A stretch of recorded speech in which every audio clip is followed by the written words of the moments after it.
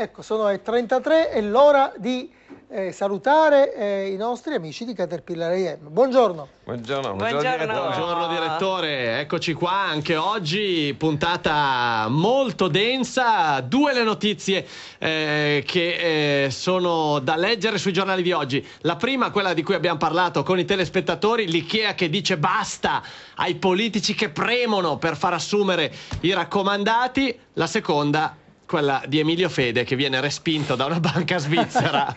allora, ma come è successo? Come è successo? Perché? Allora, è successo cioè, una banca svizzera che non vuole due milioni e mezzo, ma che cos'è il mondo ecco, rovesciato?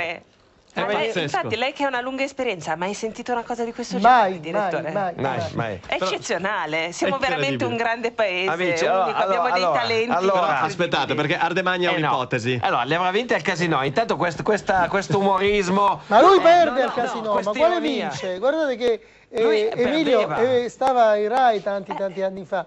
Lui al casino perde, no, come perde, tutti i giocatori. D'altronde, d'altronde come tutti i giocatori, perde, perde. Eh, uno, perde uno dei problemi della sua vita Vede. è che perde ecco. al casino. Quindi no, allora, vero, i due milioni e mezzo vengono da un'altra parte. Magari eh, ha venduto una villa pure lui come dell'Utri, ma non credo, non credo, che venga.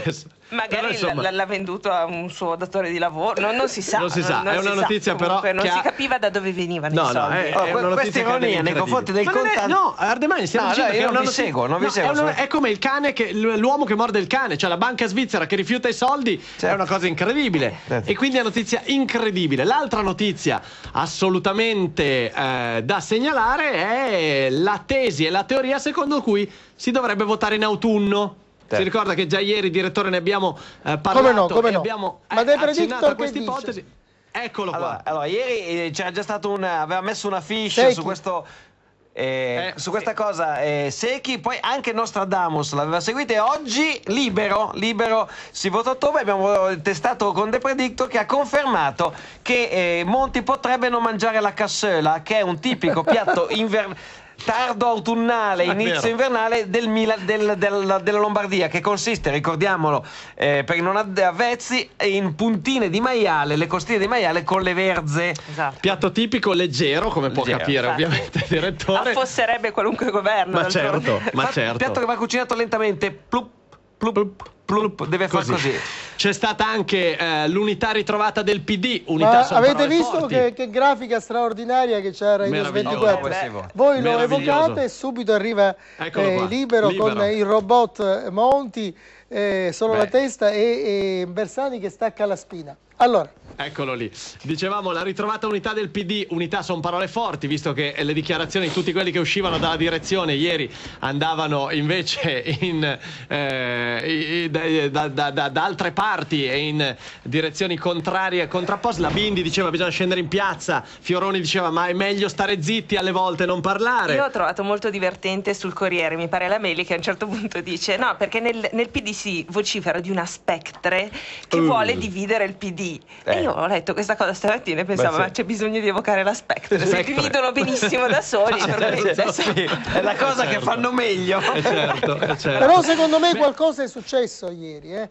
perché mi diceva ah. il nostro inviato che addirittura eh, Massimo D'Alema è intervenuto dicendo sono d'accordo con Veltroni. Allora no. eh, lì no, sarà no. pure un, si moltiplicano i segnali dell'Apocalisse. Sì, sarà pure un, una, concordia, una concordia per interesse però insomma eh, sia Bersani che D'Alema eh.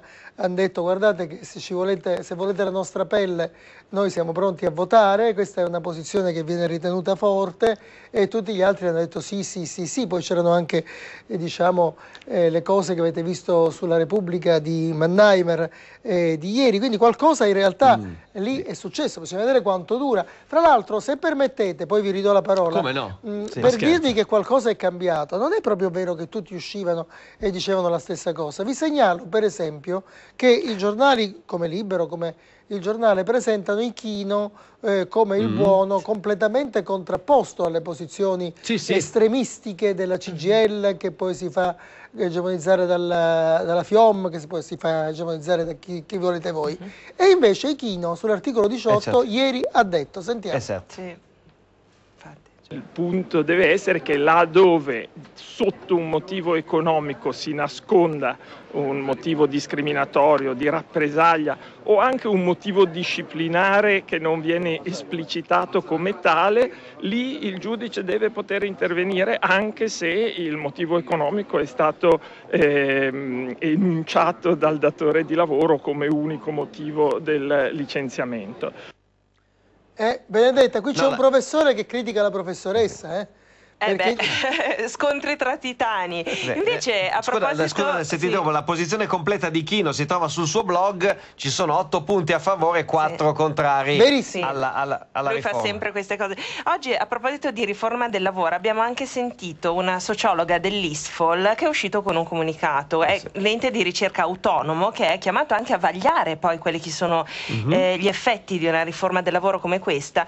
Ebbene, eh, il problema è che il, il Ministero del Lavoro invece vuole chiudere l'ISFOL e creare un'agenzia dipendente, per cui eh, i lavoratori dell'ISFOL, li abbiamo sentiti stamattina, fanno presente attenzione perché comunque l'indipendenza della ricerca è un valore da tutelare, altrimenti che garanzie ci sono di avere dei contrappesi e delle verifiche no? eh. degli effetti sul medio periodo di, di una riforma di grande impatto come questa? Ci sono tante cose, è nelle pieghe del testo in discussione della riforma del lavoro l'abolizione anche di questo ente pubblico di ricerca, per cui ci sono veramente tante cose da, da andare a vedere. Eh? Nel, eh, dettaglio. nel, dettaglio. e vediamo come quando, va a finire. Sarà... Oggi poi, direttore, eh, la vita delle persone rischia di cambiare perché arriva la busta paga e quella di marzo è la prima busta paga più leggera, quella con l'effetto eh sì. delle manovre. Alcuni no? l'hanno già aperta ieri, hanno trovato il sorpresino dell'addizionale IRPEF, eh, qualche decina di euro nella maggior parte dei casi, 30, 40, 50, 60, 70 euro. L'hanno... Si arriva fino a 90, credo, no? no? E allora, sulla nostra pagina Facebook per tutto il giorno Caterpillar AM si può andare e dirci quanta è la vostra busta paga. Però attenzione direttore, perché oggi è una puntata speciale. Oggi qui a, Cat- a Caterpillar AM a Rai News abbiamo pronta una sorpresa perché abbiamo la prima scenografia mobile della storia di Rai News. Oh, Benedetta radio, dice sposami. E di Radio 2 anche. E allora direttore, Eccolo. guardi cosa le abbiamo preparato. Qua. Eccezionale. Incredibile. Direttore, siamo pronti per Sanremo, vede? Buongiorno direttore. Buongiorno, che piacere. Lo conoscevamo come comico, è un grande cantante, Sergio Sgrilli. E il brano si chiama Sposami. Ho chiesto un coro e ho costretto a cantare. Siamo pronti. Amore, accetta il mio cuore. Ancora ti prego non fargli del male. Sapesse la fatica che fa Benedetta. Insieme, amore, accetta il mio cuore.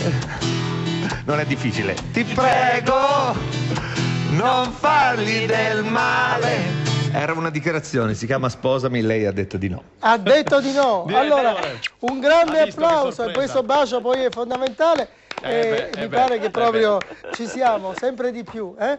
E, ci uh, lasci bisogna, ringraziare Io poi anche... dovrò spiegare anche questo al direttore generale, al vice direttore generale Marana, perché dice ma che cosa c'entra la canzone con le notizie? Allora, che È informazione io, musicale. Io che sono un, sono un, vecchio penso che le notizie siano tutto, eh, ma, beh, ma, insomma certo, vedremo, vedremo, vedremo, perché Lei... ora se ne parla in Consiglio anche... d'amministrazione, magari eh, prossimamente avremo notizie eh, solo in doppio petto, solo notizie eh, oi, solo oi, buone, oi. no? Mm. E noi andremo a fare... Mm No? Facciamo Zelli, che cosa facciamo? Cosa... abbiamo, abbiamo un piano B, Benedetta, ce l'abbiamo un piano B. Beh, abbiamo, la... abbiamo, tutto, direttore. Abbiamo anche le vignette. Ah, abbiamo anche le vignette, guardi. Allora, no, tanto vi dico, vi dico eh, prima, sì. vediamo, prima vi dico, vi faccio vedere chi c'è oggi, perché non è, non sì, è eh, né Lorenzo di Las Plasas né eh, Laura Tangherlini, ma niente di me, niente poco di più che Iman Sabà. Eccola. Con una maglietta rosso straordinario. Allora, Cinzia Poli, eh, l'amica risanata. Eccola là. Al summit sulla sicur sicurezza nucleare Obama ha detto abbiamo più missili del necessario. E con cosa vorrebbe scambiarli? Vabbè. Come Vabbè, le figurine. Con le figurine. Ah no, eh, Direttore, sentito, grazie. A proposito di, di, Radio 2, ieri ho sentito sì? una straordinaria eh, puntata di Alcatraz. No? Che ah, mi, ha, mi, ha, dato una notizia che mi era sfuggita. C'era un'associazione sì? di consumatori che non citerò, così, mm-hmm. per tigna, eh, eh, mh, mm, che eh, si, è inventata, si, è inventata, che si è inventata addirittura una campagna contro Tex Wheeler, il famoso eh. eh fumetto, perché Tex Wheeler eh, fuma. E allora Alcatraz naturalmente si è divertito eh beh, con eh l'idiozia di questo tipo di Parecchio, eh? Grazie. Allora, beh, dopo la pubblicità, Ivan Sabà. Arrivederci. Arrivederci.